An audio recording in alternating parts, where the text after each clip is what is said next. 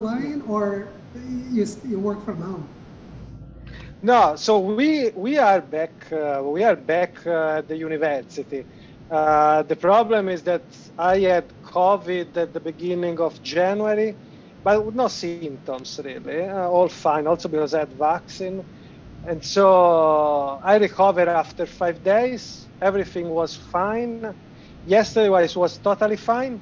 This morning I woke up with headache, nausea, dizziness. it's like labyrinthitis, and so I was in the morning in the bed, just not able to stand up. Now I'm getting better. So now I'm able to deliver the talk, but I'm, I'm, I'm at home. That's, that's, that's to answer your question. Today I'm at home. It's just me that I'm not feeling very well. But the rest, no, we are back to normal. And the UK now is uh, pretty much back to normal. No more, um, uh, no more. Uh, we don't have the need to wear masks outside or inside. So they just removed that. We don't need testing to travel out and back into the UK, no more testing. So kind of back to normal, fortunately, also because this Omicron variant, everyone got it really. So I think now only very small percentage is, uh, is uh, without antibodies at this point. So yeah. you guys heard Professor Valdastri. He said uh, everyone gets Omicron. If you haven't, you need to work on it. That's what he's Also, Pietro, yeah. I, I, think uh, the, the feeling of nausea and headache, uh, I would say uh, COVID is not the only source. When my grant was rejected last week, I had the same feeling. okay, okay, yeah. Possible. Nothing to do with COVID. There's no vaccine against that, son. No, that's no vaccine. Yeah. Uh, hi, Luder. It's great seeing you too, Luder. Hi, Luder. Hi. How are you? You? Good to see you. Good to see you. Good to see you. Wonderful. So, so maybe we get started. Uh, it, uh, Pietro's talk, Professor Valdastri's talk, uh, I already told students a little bit about you. Uh, uh, Kimberly will give a more detailed intro but I would say that uh, Pietro is a very much recognized international leader in surgical robotics. He, uh, I'm very glad he could talk to us today. Uh, and uh, right now he's based in UK. Uh, you will uh, hear from Kimberly. He was all over the place in the past little while. But to tell the speaker, this is a mix of a class with uh, graduate students and, uh, and uh, master PhD stu students and master students, but also audience from the Robotics Institute who are not part of the course. But here, everybody's interested in robotics. So without okay. further ado, uh, Kimberly, you can go ahead. Yes, welcome. Um, Pietro, thank you so much for being here on behalf of the Robotics Institute, particularly on a day when you weren't feeling so well. We really appreciate it. Um, so Pietro Valdastri joins us. Uh, he is the chair in robotics and autonomous systems at the University of Leeds, where he also directs the Storm Lab. Uh, he stu- he does have quite an international background. He studied at the University of Pisa and got his PhD from Scuola Superiore Santa Anna. He was an assistant professor at Vanderbilt University before he moved to Leeds in 2016. Uh, he co founded the medical startup Win Medical. He's won a litany of awards, so please look at his bio to see that full list, um, including the NSF Career Award. Um, and his research has been featured by several tech magazines, including the BBC, the Financial Times, The Spectator, Wired, and a whole host of others. And we're so grateful and excited for him to join us. Welcome, Pietro. Please take it away. Yeah, thank you for the nice introduction. I'll now share my screen. Uh, share. Okay, can you see the screen? Yes, okay, very good. All right, so uh, it's really a pleasure to, to talk to you about my research. Uh, so today I'm going through um, standard uh, uh, research seminar showing you what I am, uh, what we are doing in, in, in my lab. Um, and in particular, um, in the last year, we have been focused on um, surgical robots and Endoluminal robots for early detection and treatment of cancer. So in my career, I started from a broad robotic uh, research background. Uh, then I narrowed it down to medical application, then uh, surgical and endoscopic application. And now I'm narrowing it uh, down further to cancer. So it's, it's every, every researcher, I guess, has his, or her own uh, path uh, during uh, the career. And for me, this path has been from a broad start to a very narrow uh, current state. So where I'm extremely focused on uh, on uh, detection and treatment of cancer. Um, and I mean, this is of course a personal a personal uh, option, uh, and this is mine. Just to and we can discuss this more uh, at a later stage. Um, okay, so let's start. where is where, where am I? So I'm in Leeds. Leeds not to be uh, mixed with Linz, which Linz is in Austria. Leeds is in the UK, and it's in the uh, middle of the UK, um, which here in England, they say it's in the north of England because England is this area here below Scotland. So Leeds is in the north of England, but to me, it's in the center of the United Kingdom. Anyway, it's two hours from London by train, just to give you rough estimation of where we are. Leeds is in the center of Yorkshire. Yorkshire is a beautiful region with very nice uh, countryside. Uh, so if you um, if you stop by the UK, I definitely suggest you to visit Yorkshire. It's beautiful, really beautiful. In terms of research, uh, what I really like about Leeds is that it's a very um, big and well-renowned university. So a lot of opportunity for research. They recently built us a new uh, space for uh, robotic engineering. And I have these four windows here at the top floor of this building with a nice view on the city center. Uh, here we have uh, now an electromagnetic coil for our magnetic robots. So it's a very, nice place to do research, I have to say. Um, and also, one reason why I'm in Leeds is that it has one of the biggest research hospital in Europe.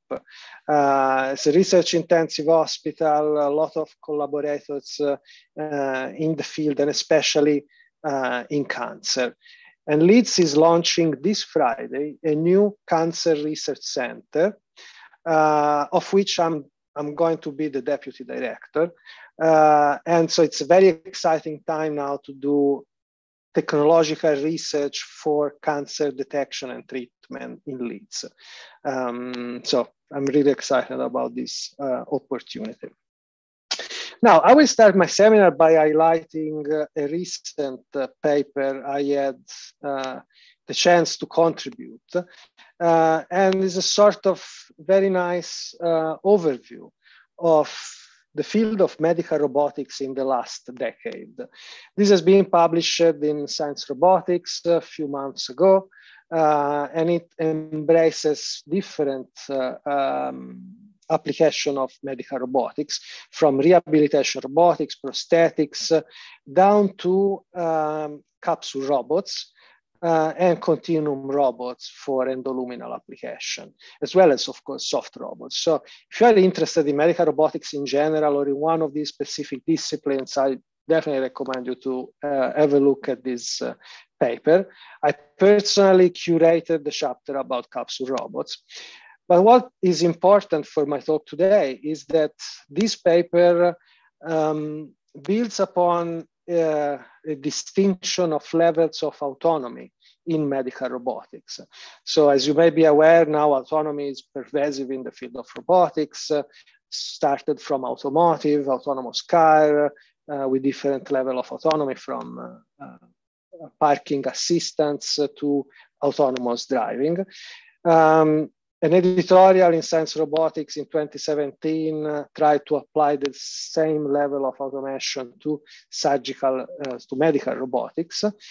This recent review paper elaborates on that uh, providing more details on these, these various level and an update on, uh, on which application they are more uh, pertinent to. And in particular, there, are, there is no autonomy like uh, the Da Vinci robot from Intuitive, which is transparently mapping the user intent onto the surgical instrument. And then there is robot assistance, for example, virtual fixture or the limitation of areas where the surgical instrument should not go to prevent damaging the patient. Task autonomy, for example, autonomous suturing. A, a recent paper from Johns Hopkins just came out on Science Robotics this month uh, from the group of Axel Krieger showing uh, um, autonomous suturing in um, minimal invasive surgery and then up, up conditional autonomy, autonomy to full automation. And so keep this distinction in mind because especially in the field of robotic colonoscopy, my lab has been explored this different level, and I'll come back to uh, this uh, in a few minutes. Um, but now let's let's get into the detail of our activities. So my lab is called STORM Lab, when STORM stands for Science and Technologies of Robotics in Medicine. And uh, we have uh, a very preeminent activity in the field of robotic endoscopy, in particular um, robotic colonoscopy uh, by using magnetic, intelligent magnetic manipulation. Um, we are also developing uh, ultra low cost uh, um, uh, design for uh, um, cancer screening in rural areas of low income countries.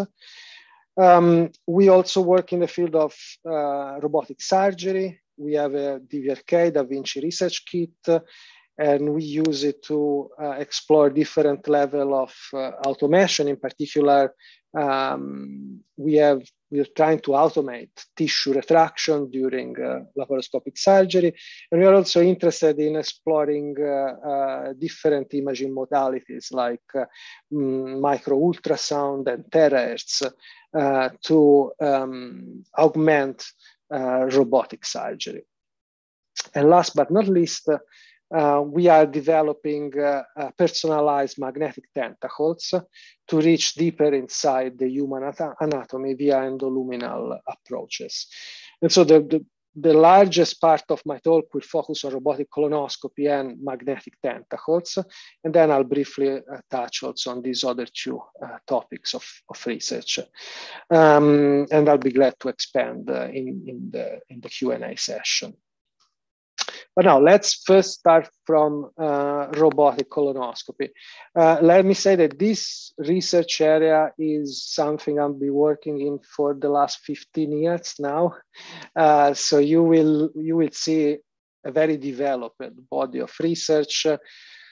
we are hoping to sell all our technology and licensing it to a large corporate in the next few months. So fingers crossed that is uh, going to happen. Um, and we certainly would like to see this in patients in the next three years or so. Um, now, why colorectal cancer? Uh, so colorectal cancer is cancer in the colon. The colon is the last part of the gastrointestinal tract, so this part here. Um, the, col- the, the cancer that develops there is a type of cancer that progresses in uh, five stages in five to 10 years. Um, and if it is detected as an early stage, stage zero, stage one, or even stage two, it can, and it can be removed uh, very efficiently via um, colonoscopy, and uh, it won't come back again in the same spot, at least in the same spot. If the cancer is detected at a later stage, when it becomes symptomatic, so uh, blood in the feces uh, and abdominal pain, if detected at this late stage, then the five-year survival rate, so the chance to be still alive after five years from diagnosis, is just 11%. Um, and so it's extremely important to detect a cancer at an early stage when it can be removed via polypectomy. And you see with very high five-year survival rate and avoid to the cancer to progress to this stage. And at, at that point, you can only do surgery, so removing part of the colon, chemotherapy and radiotherapy uh, with very poor, very scarce outcomes. So early detection is crucial. What is the best way for an early detection? The best way for an early detection and treatment at the same time is via colonoscopy. So colonoscopy uh, is a procedure that uses a colonoscope, which is a type of flexible endoscope. And the colon colonoscope is a 1.5 meter long tube, uh, not that not very flexible. It is of course flexible, but it's not very flexible. Uh, it's about uh, 1.5 uh, centimeter in uh, diameter. It has a camera at the tip, uh, a nozzle for cleaning the camera and insufflating gas to expand the lumen to allow vision, um, light to illuminate, uh, an instrument channel, and also it has cable running through the length of the device to articulate the tip. So uh, the user interface looks like this. And with the thumb, the user can control two different knobs. And one knob is for moving the tip left, right, and the other one up, down. So it has two uh, degrees of freedom at the tip. Um, I was mentioning the instrument channel. The instrument channel can be used to pass endoscopic instruments. For example, this is a biopsy uh, forceps to get tissue sample for uh, uh, histological analysis. And this is a polypectomy loop. So if, if a polyp, a precursor of colorectal cancer is located, is, is visualized, then the, the, the gastroenterologist can use a polypectomy loop to cut the polyp and take it out. Um, and so, as I was mentioning before, if the polyp is at an early stage, then this, this solves the problem once and for all. So this is the instrument. This is a very effective instrument, um, but it has very, very big limitations. Uh, and those limitations are due to the design. And so as you can see here, the, the, the design didn't really evolve that much from 1957 when flexible endoscope was introduced to um, 2021, so to, to, this year really, I have to update this in 2022 now. Uh, so the main uh, progress happened in, the imaging part. So in 1957, this was a bundle of optical fibers. So the, the doctor was looking into the ocular here to see uh, the image coming from the tip. Now we have chip-on-tip cameras, which are ultra HD, can be uh, different uh, type of illumination can be used. So we can have narrowband imaging. so imaging has really progressed, but the design of the device is still the same, still a pretty rigid tube that is articulated at the tip. Um, and so basically, what is the downside? Downside is that the instrument is still introduced from the back and in order to advance in a convoluted anatomy like the colon, it must interact with the, uh, with the anatomy. And stretching the colon generates a lot of pain.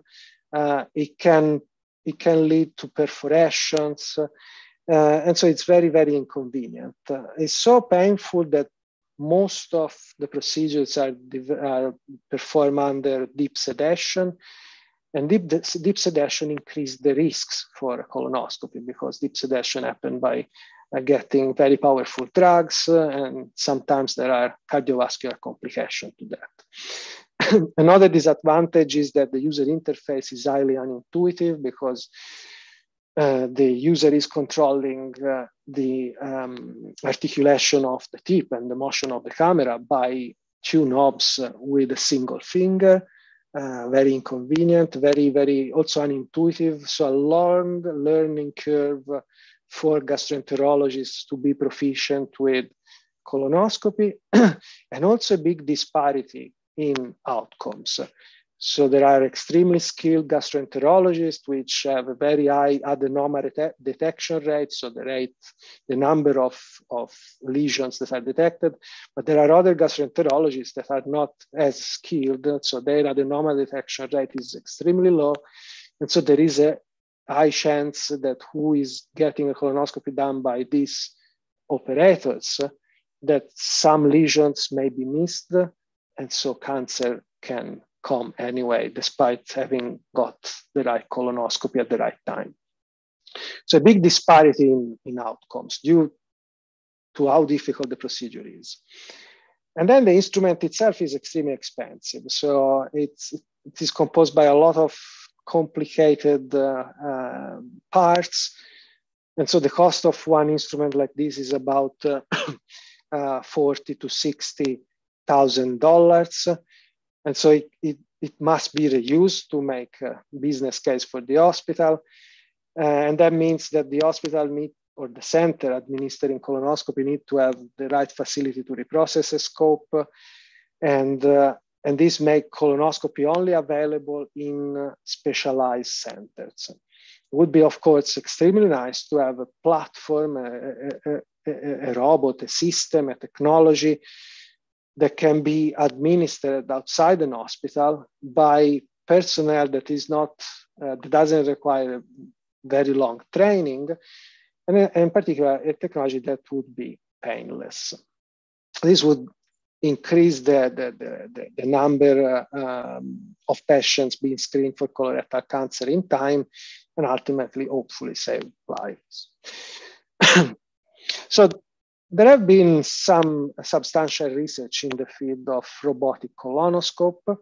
Um, this is a nice paper from Gastone Ciuti uh, in Italy, um, who is um, providing a review of, of the field. So in, in our case today, I'll speak about uh, um, our magnetic flexible endoscope.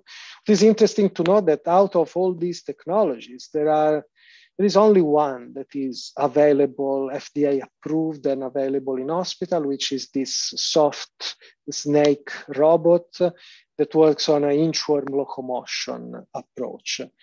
this is developed by an Italian company called Endotics, spin out of Scuola Superiore Sant'Anna, um, and is now active for the, the last 20 years, I think.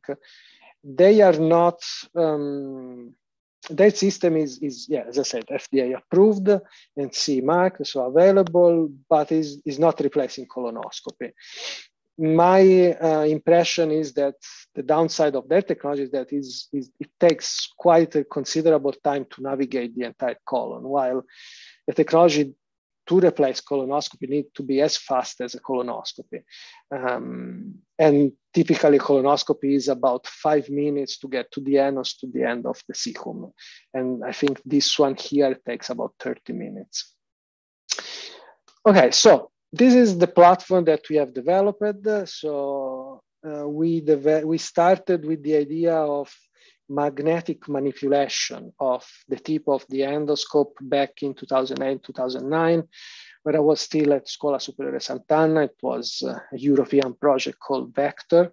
and at that time, we had the idea of instead of pushing a rigid uh, tube uh, from the distal end, why don't we apply force and torque where, where is really needed, so at the tip of the flexible endoscope, by embedding a permanent magnet at the tip and using a permanent magnet on the outside connected to a robotic arm.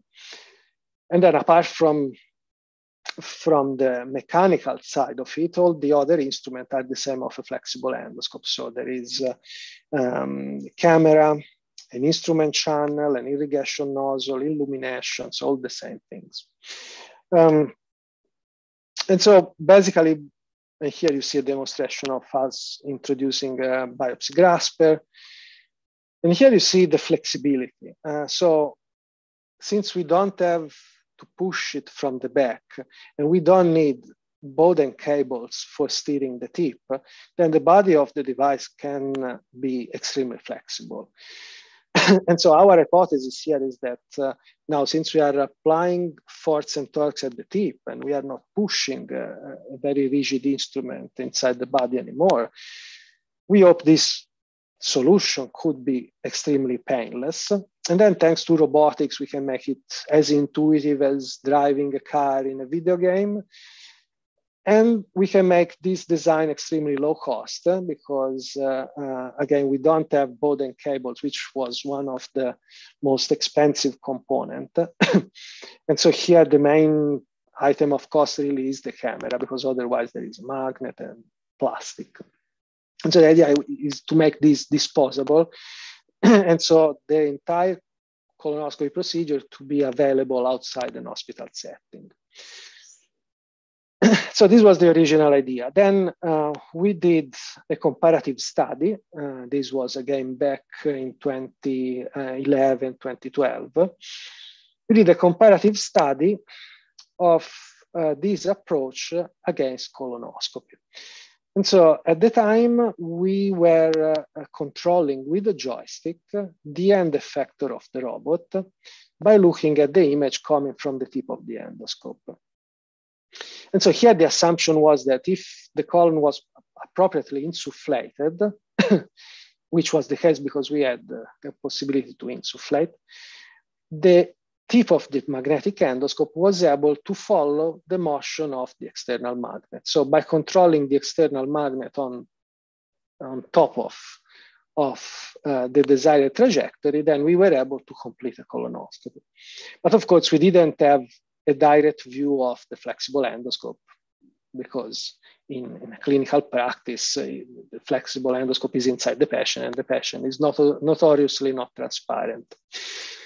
And so when we compared this to uh, conventional colonoscopy, we found that navigation and diagnostic accuracy, so navigation in terms of reaching the end of the colon and diagnostic accuracy in terms of finding uh, lesions that were randomly placed was comparable, but the time to complete a robotic procedure was three times lower. And the reason was that uh, uh, very often the magnetic coupling was lost due to the fact that, for example, the cable was um, the motion of the tip. And so the user was still controlling the external magnet up to the point where there was no magnetic coupling. Then the user had to understand that the magnetic coupling was lost just by looking at the images, and then go back with the external magnet, try to re-engage the tip and try a different, uh, a different path. so this was extremely time consuming and frustrating, of course.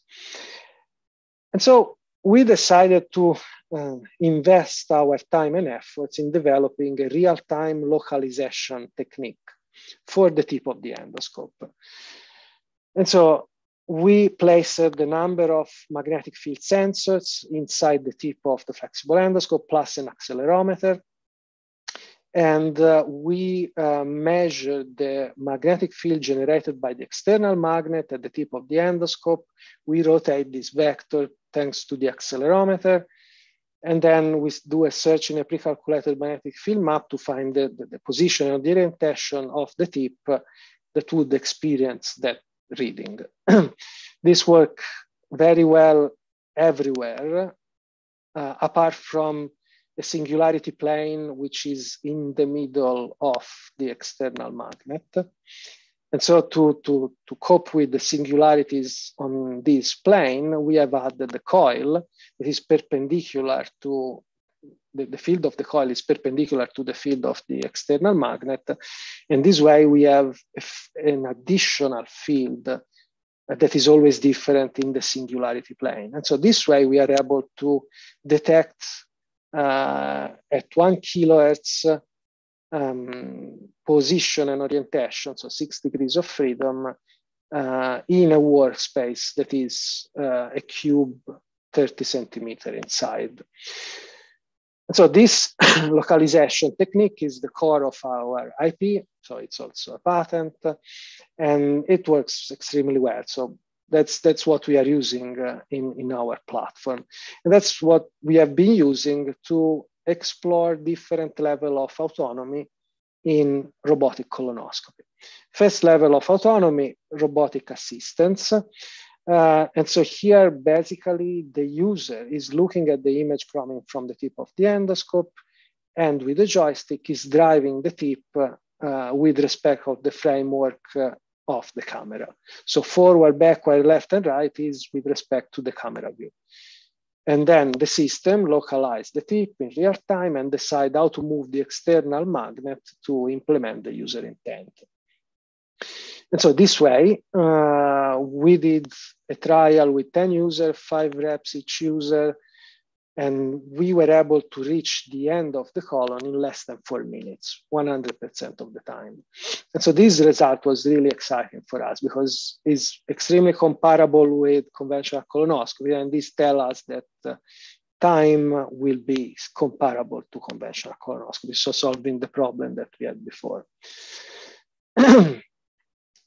Another level of automation is task autonomy. And so again, thanks to localization, we were able to automate uh, retroflexion, for example. So retroflexion is from looking forward to looking backward. this is very important to find lesions behind haustral folds of the colon, something that a normal conventional colonoscope cannot do because cannot really retroflect everywhere in the colon, can only retroflect in the first part by pushing against the, the, the, uh, the rectum wall, but cannot retroflect anywhere else. Um, and so in this case, we basically uh, have a routine that autonomously track the position of the tip of the endoscope and decide how best to move the external magnet to achieve a retroflexion. Um, and then um, another task that we are automating, and this is very recent research, is uh, uh, biopsy targeting. so the first step is uh, during withdrawal, so need probably need to, to open a parenthesis here. So in, during a colonoscopy, the gastroenterologist try to get to the end of the colon as fast as possible. And then on the way back during retrieval, the gastroenterologist look around to find lesions and get biopsies or remove polyps. And so the, the, the, diagnostic inspection really happened during retrieval. And so here we have implemented a routine that while we retrieve the endoscope, the external magnet follows so that we are always maintaining magnetic coupling. Then once a target is identified by an image analysis routine, um, we compute the distance from the tip of the endoscope to the target. And we do this by acquiring multiple images of the target and do a triangulation. Then once we have estimated the position, we know where the forceps would exit from the instrument channel. And the system basically align the place where the biopsy forceps will come out to the target. So what is left to the user to do is to just get the biopsy sample. So this supports basically is, is, uh, is an aid to facilitate tissue biopsy.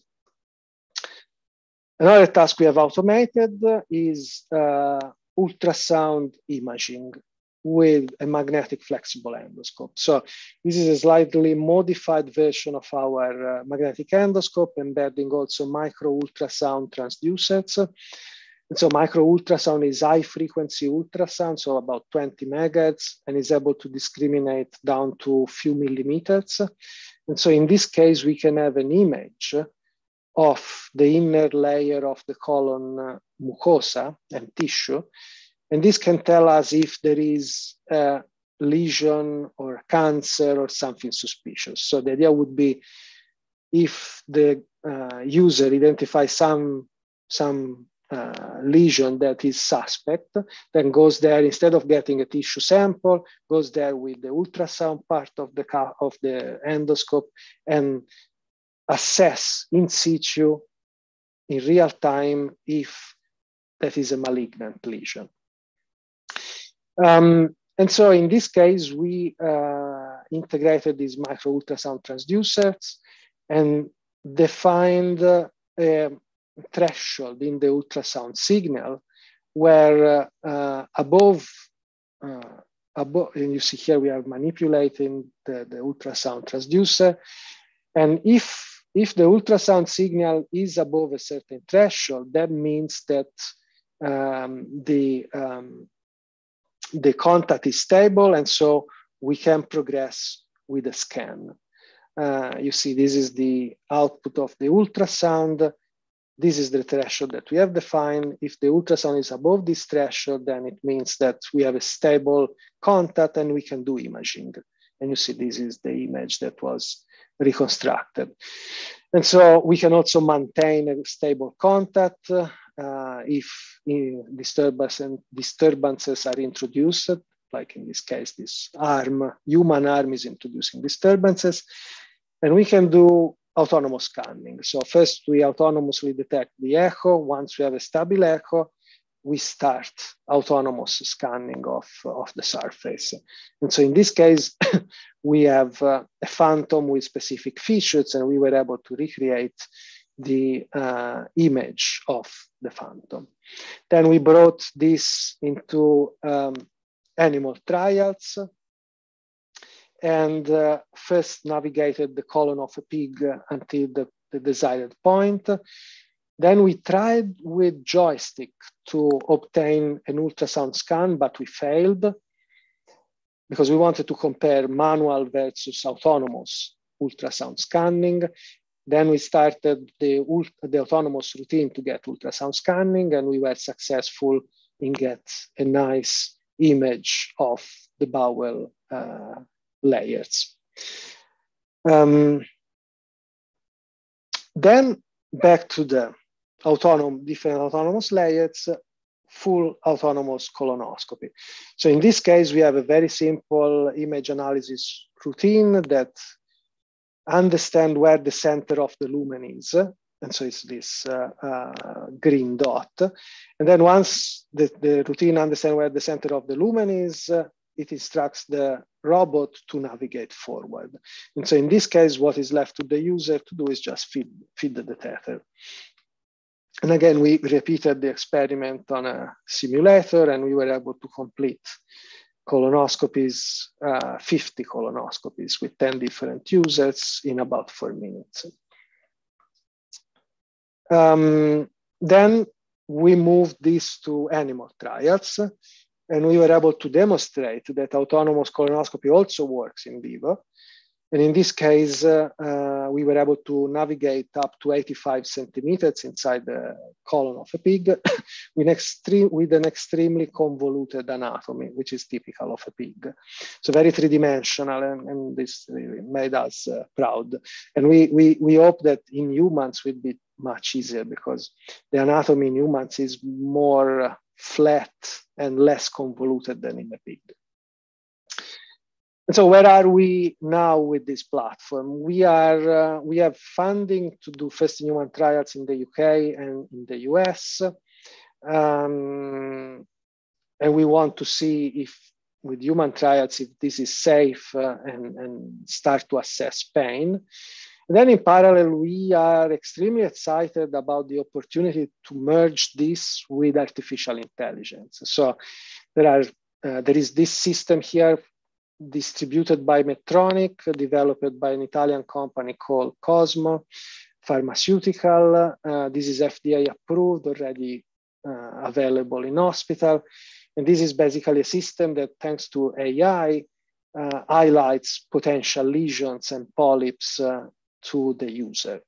Uh, similar technology developed by a uh, startup here in the UK called Odin Medical. And I mean, integrating these capabilities to our platform would really uh, make a step forward in democratizing uh, colonoscopy to less experienced, skilled users. And so widening access to high quality colonoscopy. It's also possible to go a step forward in integration of robotics and AI and do sort of 3D mapping. Um, and so something very interesting would be to reconstruct the colon that from monocular images coming from the endoscope and understand if all the colon has been visualized or if there are blind spots. And this can happen really nicely with our platform because we have 3D localization that combined with monocular vision rec uh, reconstruction uh, can work very well, at least we hope. And so the goal is to have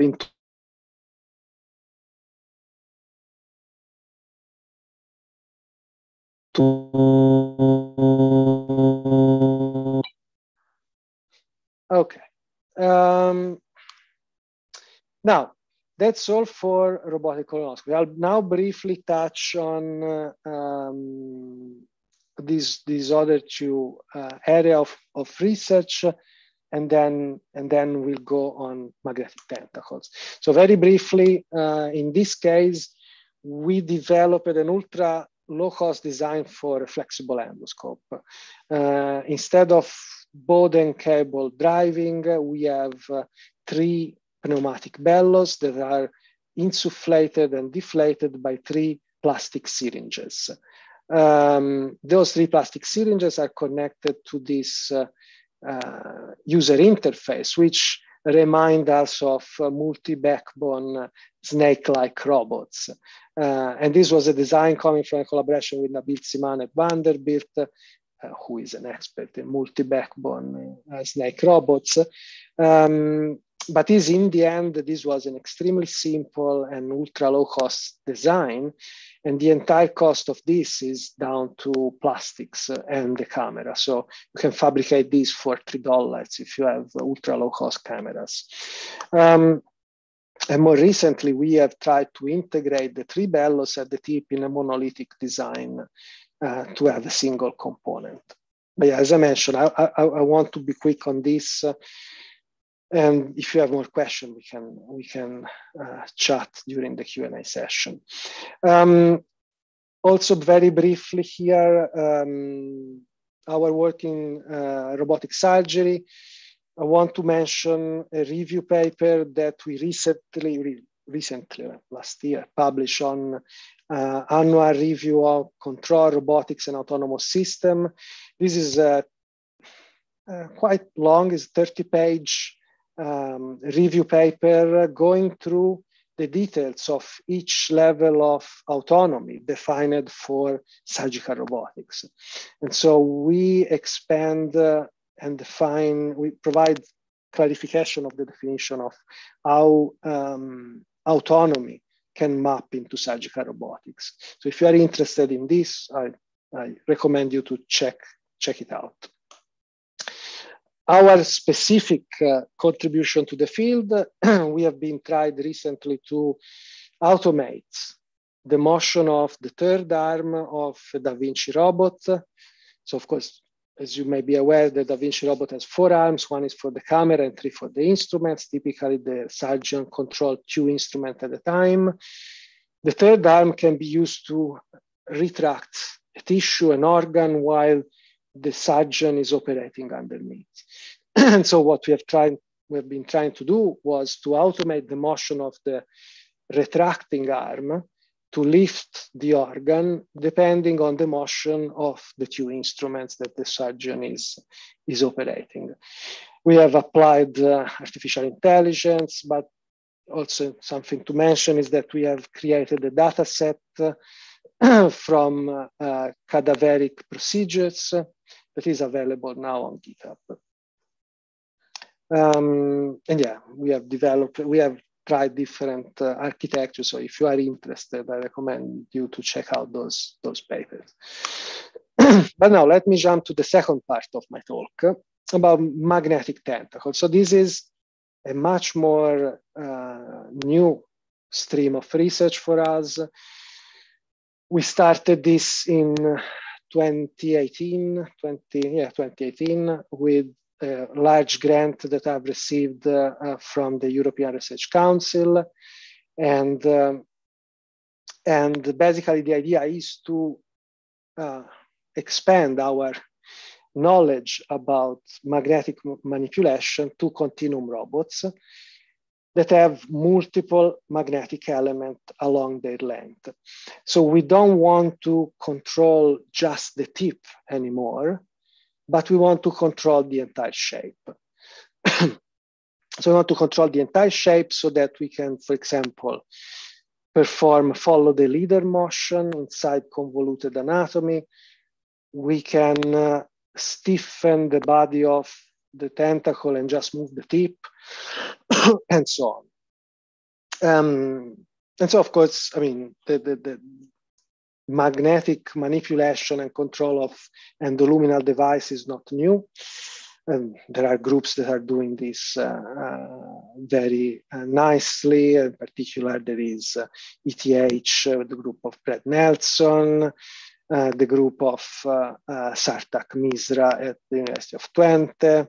Um, there is DGIST in Korea, working with multiple magnets, and the group at MIT, working with polymeric extrusion of embedding magnetic particles. And of course, there is Eric uh, at Toronto doing uh, marvelous work with wireless uh, uh micro robots. So very nice uh, and yeah, relatively crowded field. Where we try to do something different is that we want to actuate the entire body. So multiple points uh, in the length of a continuum robot. and so we started from a very simple basic problem. So assuming an homogeneous, external homogeneous field, can we magnetize these multiple elements in a continuum robot so that we can get a desired shape? And so the first step was to simulate, have a simulate simulation FEM simulation of a single element. Then we gave this, this model to an artificial neural network uh, to simulate um, how the how three of those elements would behave together. And then the neural network was tasked uh, to tell us how we should magnetize such tentacles in order to detect, to, to obtain a certain shape under an homogeneous magnetic field. and so, as I was mentioning, the first step was to create a finite element model of a single element. In doing so, we also did a spin out work that was published uh, very recently on Frontiers of uh, Robotics and AI. And so, in this spin out work, uh, we tried different um, mechanical model uh, for um, material uh, identification, mm, material so for, for finite for finite element modeling of deflection and to identify the proper material parameters, we used uh, an artificial neural network. And uh, the results are encouraging in a sense that thanks to an evolutionary algorithm to define the model parameters, we were able to get better fitting of the finite element model. Um, and then coming back to, to the original question, the finite element model was used to, uh, to teach a neural network how different uh, uh, magnetization of three elements would uh, deflect a tentacle under a certain homogeneous field. And then the neural network told us how to magnetize the tentacle to achieve a desired shape. So we had three different shapes that we wanted. We fabricated three tentacles following the same process. So uh, silicon alternated with doped silicon, doped with uh, neodymium iron boron particles. And then we took three samples and we magnetized them in three different trays inside the magnetizer.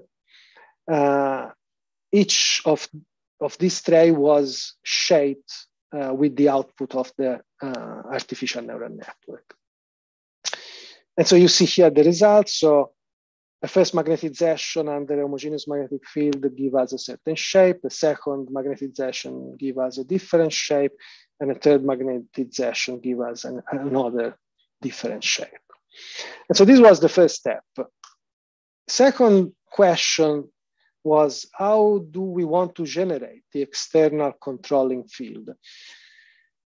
And here we tapped into a debate uh, of the uh, in the field of uh, uh, magnetic manipulation. Should we do it with coils? Should we do it with permanent magnet? And I know Eric Eric is a main player in this debate as well. Um, since we are expert with permanent magnet, we of course were leaning to permanent magnets. Uh, and so we tried with two permanent magnets because one would not give us the dexterity that we want. So we tried with two independent permanent magnets manipulated by two robotic arms. What are the advantages? The advantages are a much more flexible workspace than the workspace you would have with coils. The magnetic power density is higher for permanent magnets. So uh, basically, given the magnetic field and, and, field gradient that we want, uh, we can obtain it with a smaller permanent magnet rather than a larger coil.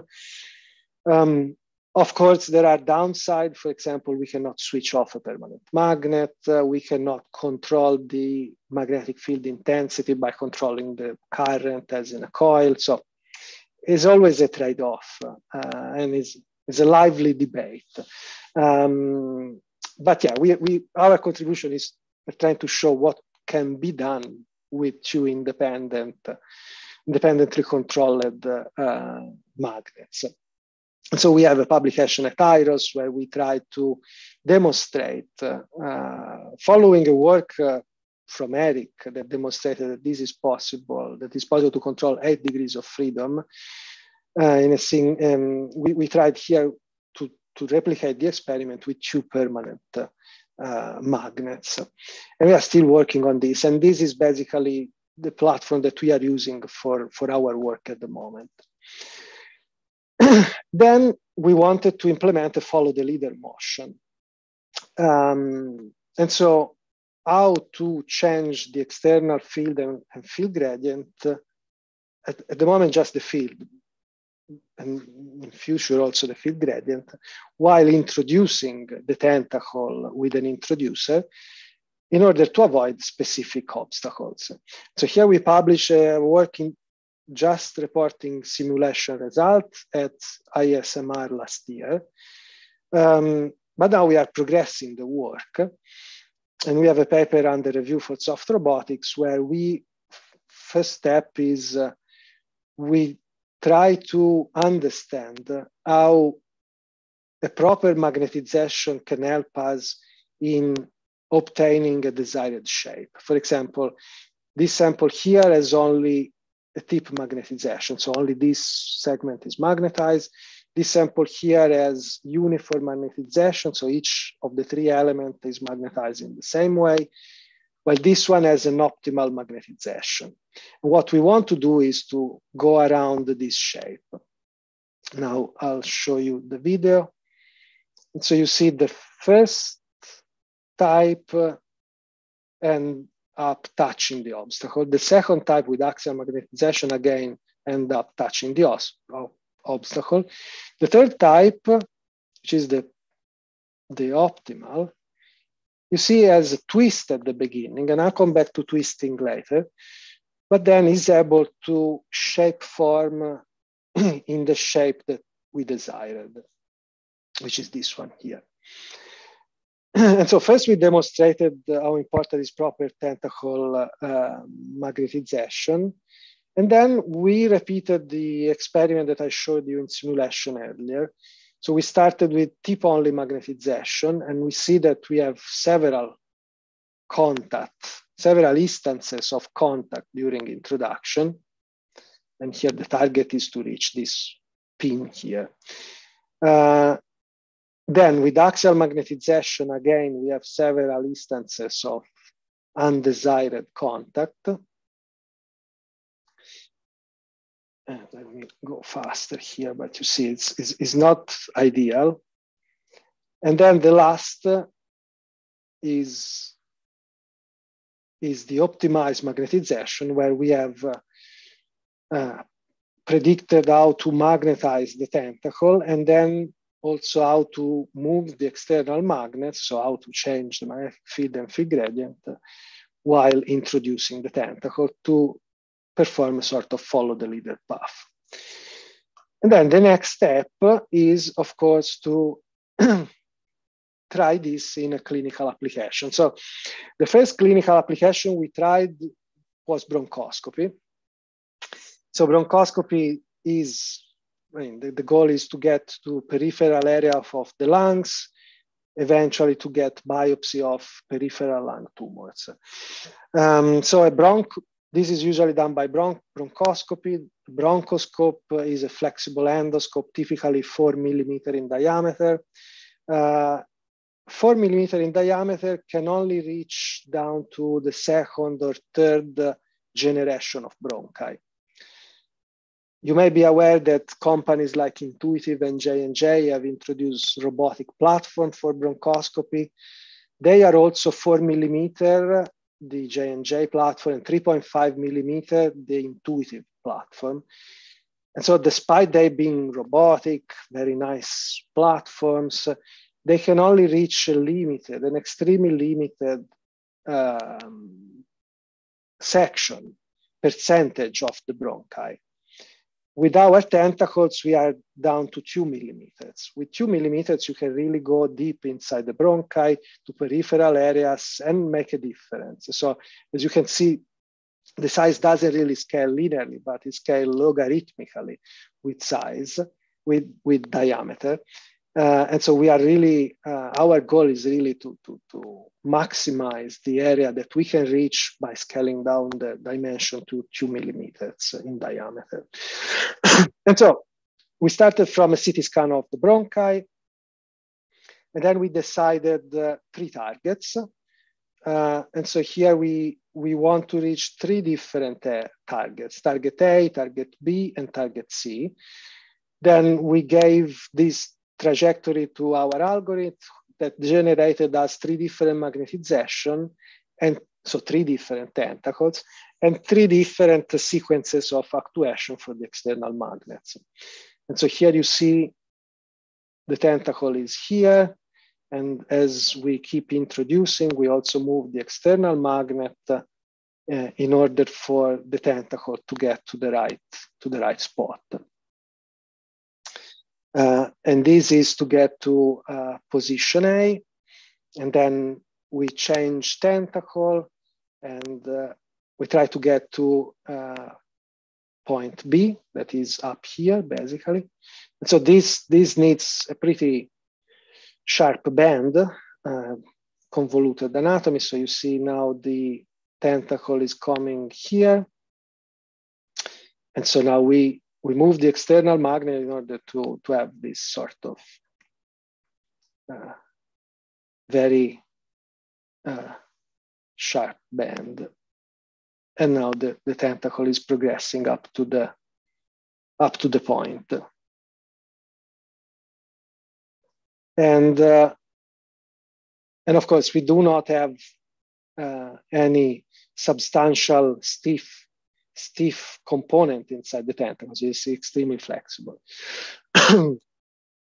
now, these are results of last week, so extremely recent. Um, in this case, let me stop it for a second. So in this case, we have integrated the fiber Bragg grating sensor inside the tentacle. So now we are able to detect the shape in real time, and we can do closed loop control of um, tentacle navigation. So in this first example, we have a bronchos. So in this example, the bronchoscope is the tentacle is coming out from the instrument channel of the bronchoscope. So basically we get to as far as possible with the bronchoscope. Once we are there, the tentacle comes out from the instrument channel and progress where for, further where the bronchoscope would not would not have the space to. So in this case, the first example, the target is here. The bronchoscope is here. And I'll now play the video.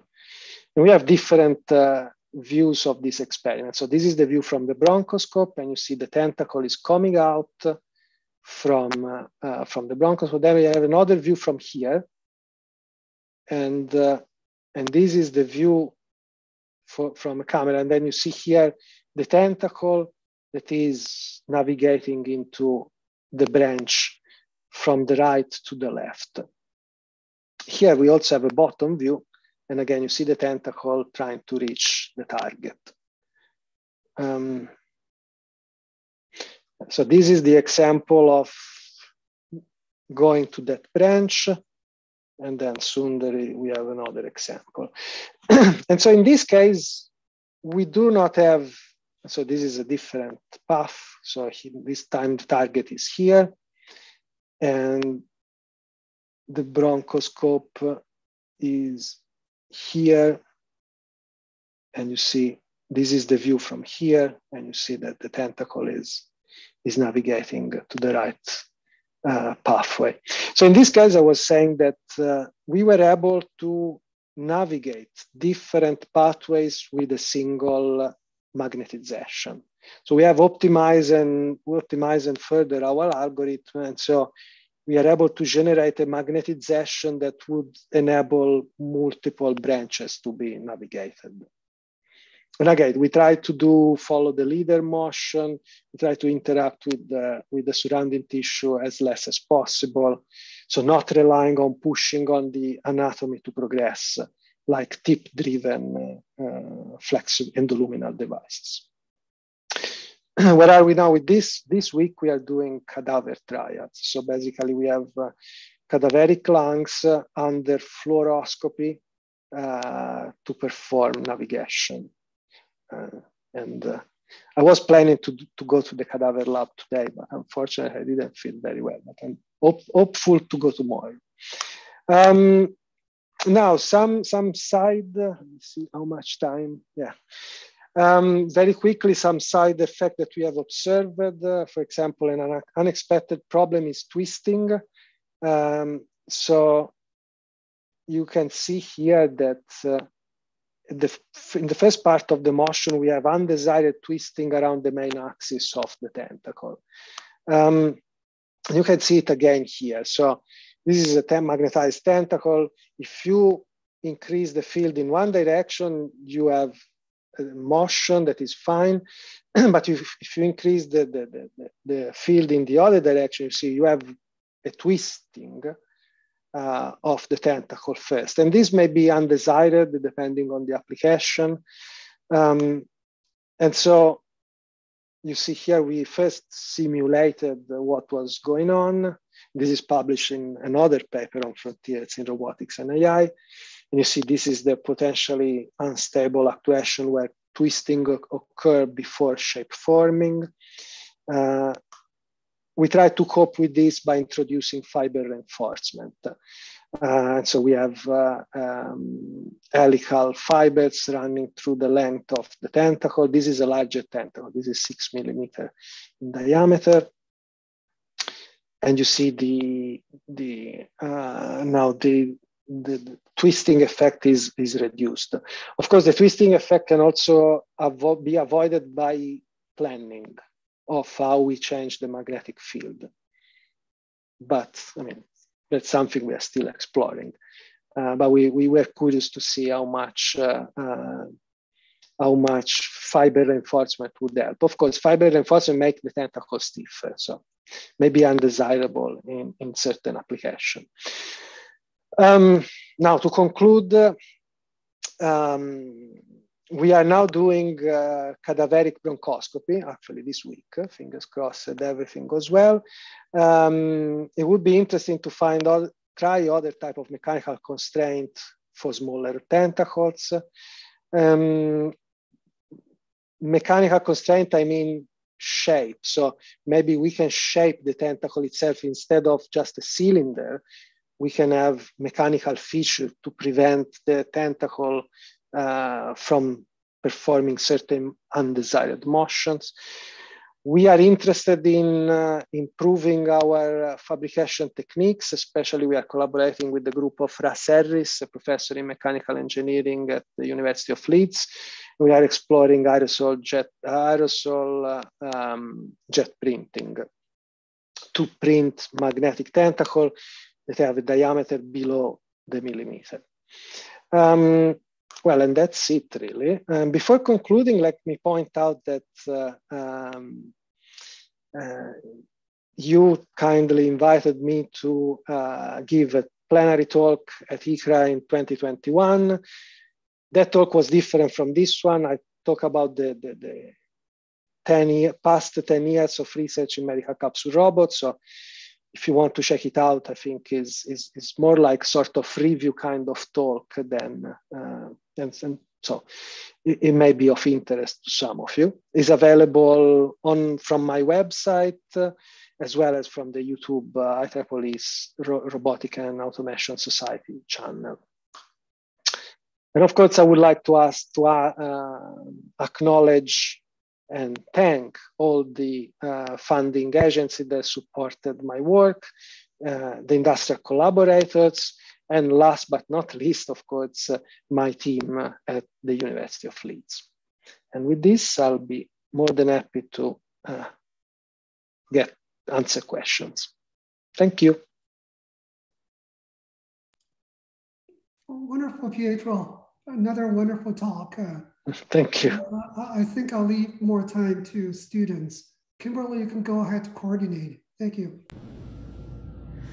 All right. Anybody have questions? Please feel free to um, either raise your hands or put them in the chat. Uh, Eric, looks like we you got the first question slot. Uh, hi, uh, great talk. Hi. I was wondering, um, you presented a lot of tethered solutions uh, here. Yeah. I was wondering whether you were researching on untethered solutions as well, and whether you see that uh, replacing uh, tethered uh, solutions in the future. Yeah, so it's a very good question. But basically, I should have presented this talk uh, in this slide. So this talk here about medical capsule robot start exactly from wireless technology. So it, it talks about all the efforts that we started inspired uh, by the give mm, uh, the Given Imaging PillCam, trying to have add wireless robotic technologies to, to that to that device. Um, and so I spent about 10 years of my research trying to do wireless capsule robots.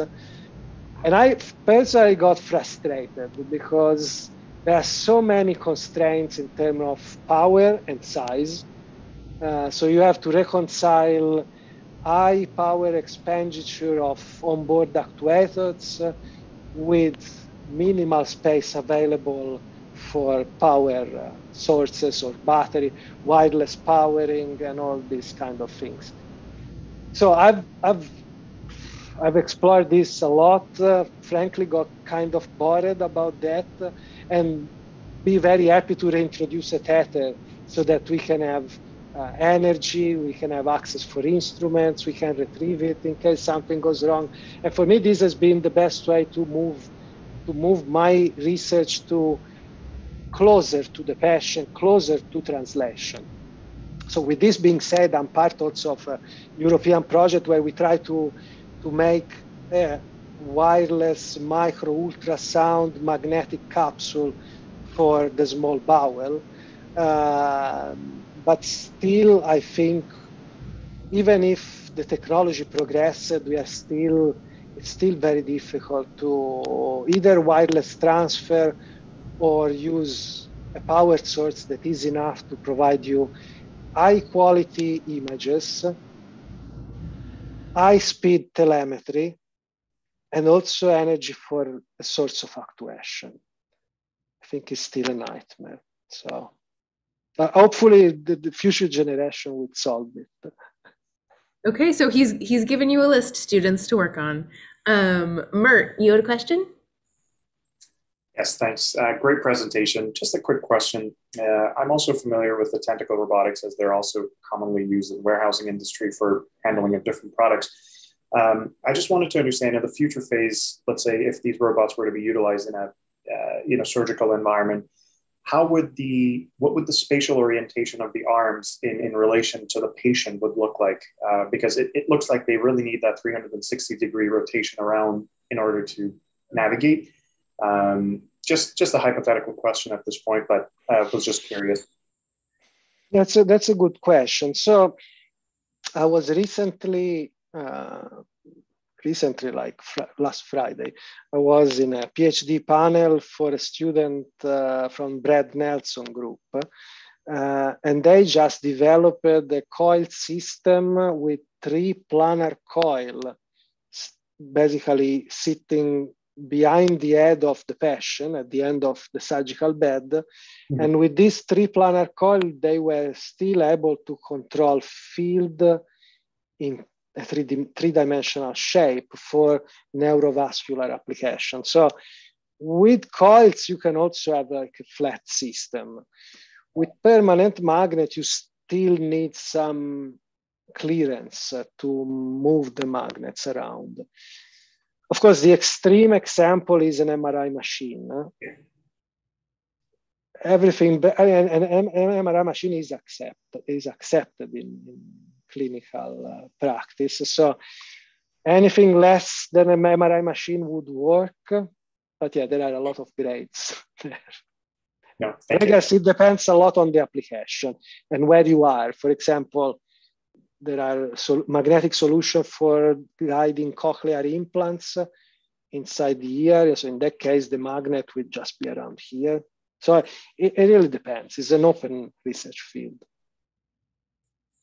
Thanks. Yeah, great. Thank you. Uh, now, you have your next? Uh, hi, thank you so much for your presentation. It was a great talk. Um, I just had a question out of curiosity.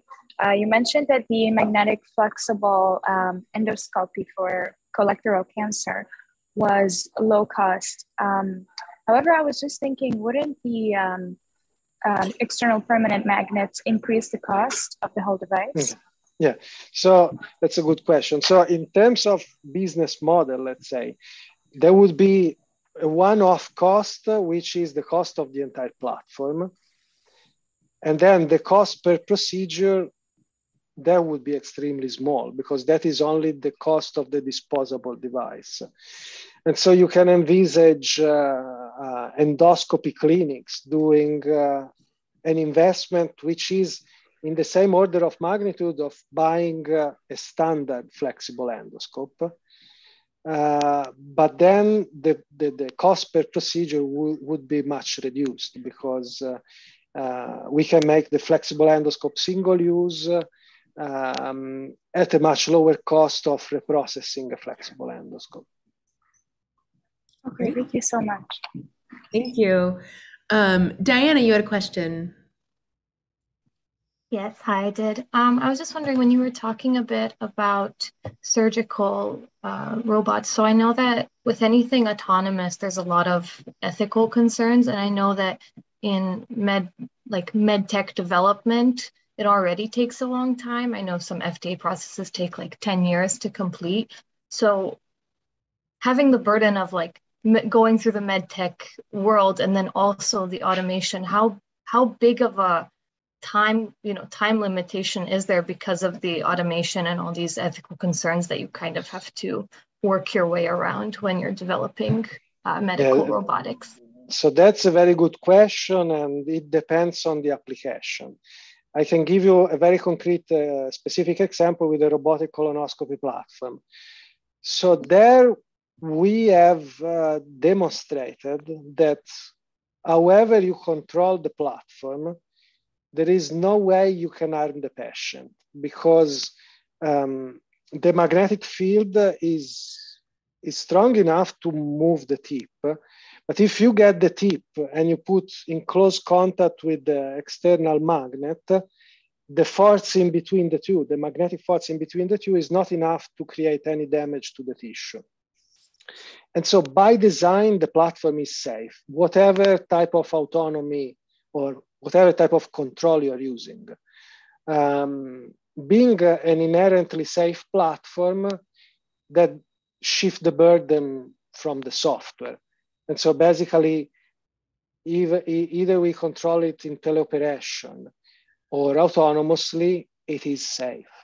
And so taking this approach, we hope that FDA will will see favorably our application. It's true that um, there are also strategies to approach the FDA. So as far as I know, there is the FDA division of surgical robotics, which is very, very difficult to navigate, uh, while the gastroenterology um, branch of the FDA is more open to innovation. So they have cleared uh, already two robotic platforms for gastrointestinal endoscopy. So that can also be, there is also the, the component of strategy really. But again, I think the key is, if possible, to demonstrate that you are inherently safe. Of course, if that is possible, an interventional surgical robot uh, may not be able to do that by definition. So. Great, thank you. Thank you. Um, Mira, you have a question.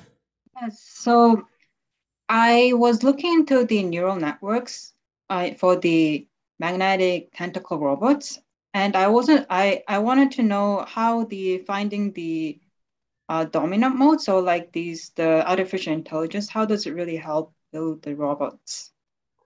Okay, so in in uh, uh, there are several ways. Um, so we have a very simple use of uh, uh AI algorithm to find the center of the lumen.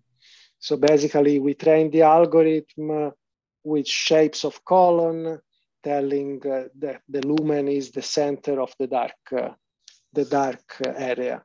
Um, and so in that case, the algorithm tells us where the center is, and we give this information to the control system to propel the tip forward uh, by magnetic manipulation. So this is one example. Um, this, if I go back, let me go back to my presentation. This system here, uh, see, now, this one. Okay. This system here from, uh, uh, the system here from Medtronic uh, and this system from Odin, they basically use, they train artificial intelligence with annotated uh, uh, e, annotated endoscopy videos from normal colonoscopies instructing them where there is a lesion, where there is a cancer, where there is no cancer, and so on. And so if you train those artificial neural network, they can spot potential lesion that are not really visible to the naked eye. And so in this case, you can improve the adenoma detect detection rate. and these are already on the market. So they can spot lesions that uh, are difficult to see, as well as if you zoom in into a lesion, this software can tell you if the lesion has a potential to be malignant, so you can you have to remove it or not. So it's not just finding, but also providing you an information on the stage of the lesion, so staging of the lesion. So it's a, like a diagnostic output, really. And this is already FDA approved, is already commercially available. Something else is this 3D reconstruction.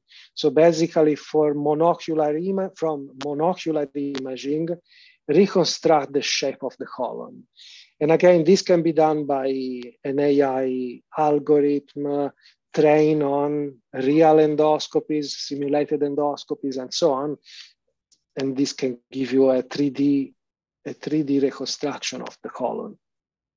Does this answer your question? These are just three examples, but I guess there may be many, many more uh, examples of how AI can improve. Uh, so I guess like to reconstruct the bowel, yeah. like um, the mm-hmm. artificial intelligence uh, algorithm, it uh, it detects the location of the bowel. Um, I, I'm, it's, it's basically trying to reconstruct the shape from motion. so in a frame, you have certain features. In the next frame, those features have moved. and then you can reconstruct uh, from the motion the shape. Now, if you don't have any localization information, you need a lot of artificial intelligence contribution, a lot of training, because you don't have the information bit that need to be reconstructed by AI. With our technology, we have that bit of information thanks to localization. So the artificial intelligence component would be would have much more a much richer input than conventional colonoscopy. So should be able to do a better job. Oh yes, thank you. It answers my question. Thank you. Great, thank you. Um, we had a question uh, from a viewer in the States who is watching on YouTube, Erkin. He asks, have you shared the navigation data of the capsule robot on an online platform? Yes. Uh, so we have some shared data from our Nature Machine Intelligence paper. So let's see, go back. So if you go to, if you check out this paper here on Nature Machine Intelligence, uh, we have shared some, we have a, we have a data set shared there. Great. That's wonderful. Thank you. Uh, Cameron, you have a question. Hi, Dr. Valdastri. Uh, Hi. Thanks for your talk. Uh, wonderful as always. Um, I was wondering, I think you kind of hinted at this in a previous answer to a question about um, interventional um, sort of operations with, with magnetic devices, where you're saying that, that uh, these devices can be made inherently safe, but of course, you know, in some cases you might want to cause an intentional damage to tissue, such as for yeah. surgery. So um, is that the intention for your um, tentacle robots that they would be able to do some kind of intervention like biopsy? Um, do you see that as a major challenge? Yeah, so that's a good question. So in in uh, in bronchoscopy, at the moment we have an optical fiber that can deliver laser energy for tissue ablation uh, and we also have a version with the one millimeter channel to get biopsies. Um, so yeah, that that's would that would be the idea. In in that case, of course, the path to FDA approval would be much longer. Um, but we'll still have a predicate device. And the predicate device is the normal bronchoscope where you have anyway the, the, the possibility of passing a biopsy needle for, for biopsy. I think having a predicate device uh, is, is helpful. The alternative to that, if you don't have a predicate device, is a de novo submission to FDA, which yeah, it may take long. Uh, my so my experience, I can I can certainly tell tell this. My experience is that approaching regulatory um, approval is better from a company with appropriate investor funding rather than from a university.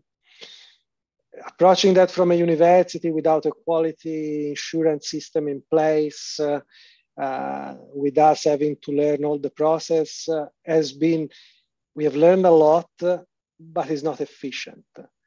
Um, and so I, I, would say what I've learned in these last five years is probably try to be more um, energetic in convincing investor in invest in a startup. Because my, my thought has been, I first need to get to, as, a, as an academic, I first need to get to first in human trial, and then I will license my technology. If you get to first human trial and that goes well, someone will license your technology, but it's a nightmare to get there. And in the end, you can convince investors to invest uh, even before to get, you get to first human trial. So it, it's a balance, it's a trade-off. Uh, I've learned a lot in these last five years, so I cannot uh, say I would not do it again. But if I have to redo it now that I have learned, probably I will push more on phantom cadaveric animal trials, find investor, and then do approach regulatory approval from a company. Okay, good advice. Thank you. Um, we have time for just a couple of more questions. If anybody's got something to say, please raise your hand or put that message in the chat. Uh, Chen Young. Oh, he's there. You go. Um, hi, Professor Valdastri. Um, hi. Yeah, very uh, wonderful uh, talk. And uh, specifically, I want to ask a few questions about the last section, uh, the magnetic and tensile uh, robots. So I noticed that you uh, did uh, many experiments uh, to to to verify the 2D motion of the uh, catheter. So have you done or consider any uh, 3D spatial um, uh, experiments to validate the motion of the catheter? And uh, yeah. Oh, sorry. Yeah. Second question. Uh, I noticed you embedded three magnets inside the catheter. So I wonder why uh, the number is three. Have you considered to uh, like embedding more magnets to control like more uh, tortuous shape of the catheter? Thank you. Okay, yeah, that's that's a very good question. Now, as a matter of fact, uh, um, we have transitioned from three. So we have transitioned from three magnets. Uh, oh, let me surprise. This one is the best slide. So we started from three magnets or three section with magnetic uh, particles and a 2D motion as a starting point. But then in this latest video that I'm showing here, here we are doing 3D motion with a tentacle that has a continuous magnetization. So the entire tentacle is magnetic and all the body is magnetized. So is, we are going basically from a dis discrete magnetization to continuum magnetization. And this also is capable of moving in 3D. Uh, it has been a step-by-step -step process and uh, we haven't yet published this also because he's a PhD student that is finishing now, uh, is rushing to get all the results. Um, he has already got his job uh, starting in April, so he hasn't had time to rationalize all the output, but they will come in time. Uh, and Eric is in the PhD committee of this uh, student, so he will he will know directly from him. But the, the, the rest of us, I mean, I, I guess I'll, I'll, know before, but the, the, the, for the others, we'll, we'll have to wait for the papers to come out. Thank you. Uh, yeah, uh, it looks very promising. I mean, this is a very also a pioneering work. Uh, yeah, following following questions. Uh, this is some minor questions. So, can you consider? I noticed that you embedded the the magnet inside of the tube or the catheter. So, uh, about the application. So, if we we know that if we want to do some surgical uh, operation, the tube in the inner tube in, need to leave the space for some instruments, for example, yeah. the endoscope camera or forceps. So after embedded the magnet inside the channel, so I guess there's no room for the for install the instruments. So have you have any so the, yeah no these these tentacles here uh, they they can be fabricated with an hollow lumen inside um, for example, this has an hollow lumen inside, but also, uh, this is six millimeter, but also the small one. So the, the, the one we are using here is two millimeters, but it has a lumen in the middle that is one millimeter. And that can be used for uh, optical fiber or it can be used for uh, a biopsy needle. Uh, if we increase the size to I mean, six millimeter, for example, we can also have a camera. Um, at the moment, we are also working on two collaborative uh, tentacle robots. So one can have a camera and the other one can have a, a laser light uh, to work together. Yeah. Great, thank you. Thank you very much. Thank you. One last question from Ramal. Uh, hi. Hi, Professor. Thank you for your talk again. Um, so I had a question about uh, the feasibility of using magnet control robots in viscous fluids. Um, mm. For example, um, one example I can think off the top of my head is when people have blocked and inflamed veins, and these usually mm. show up at the surface of the skin. Um, what they do is they inject the fluid and end up killing the vein. Would it be possible to use uh, micro flexible robots to get in there, um, be injected in the vein, be controlled in a viscous fluid like the blood, and remove such a blockage? Okay, yes. So uh, that's a good, very good question. So we, when when we were thinking uh, about magnetic tentacles, uh, so for us, it's such a new a new technology that we are very much unsure which is the best clinical application. So it's one of those that is a te technology pool rather than a clinical uh, uh, clinical need. Um, so we are still, we, we have considered different applications. we have also considered cardiovascular applications. So moving, accessing uh, from the femoral artery and navigate the catheter, uh, the, the, magnetic catheter uh, through the through the vein. Um, I think uh, that that I mean, looking at standard catheters, uh, we can make magnetic tentacles that are very similar and control the entire shape so that we don't need to push against the uh, anatomy to, to navigate convoluted uh, bands. Uh, that would be the advantage of controlling the entire shape. In that case, we may have to control different points on a very long uh, segment of the catheter. I don't see any particular issue in controlling this into a fluid uh, because in the end uh, we can apply the same forces and torques uh, of um, a stand conventional endoluminal device such as a catheter. Um, so the group at MIT is working on neurovascular application, and they have a very similar silicon-based uh, um, endoluminal device with magnetic particles. They only control the tip in that case, uh, and they only control the orientation of the tip while they are pushing. Uh, but yeah, they move in, in fluid uh, and looks like it's working. But yeah, I mean, and then a quick. It, it's something that we, we hopefully we will try after we have uh, finished with bronchoscopy. We are really keen to to apply this technology to as many applications as possible and see what works and what not. For some application may just not, not be ideal at all. Okay, a quick follow-up. Have you noticed the lower um, lower bound on the amount of control you can have uh, on these um, tentacle magnetic robots?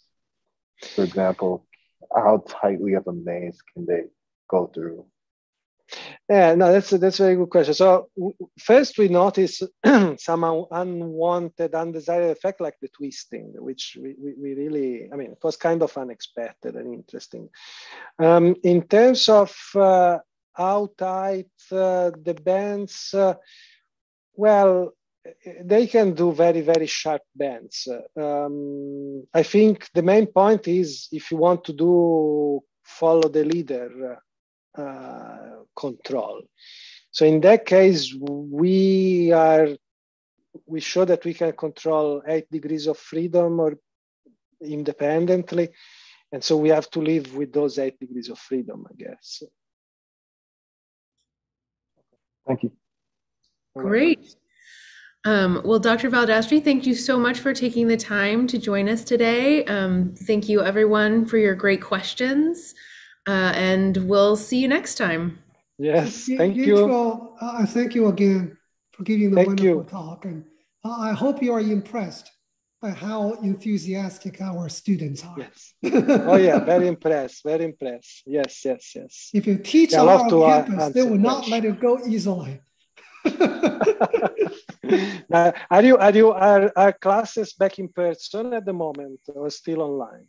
Next Monday, back to classroom. I look forward to that. I hope you recover very quickly, Pietro. Thank you. Thank you Thank again. You. Thank, Thank, you. you. Bye. Bye. Bye, everybody. Bye. Bye.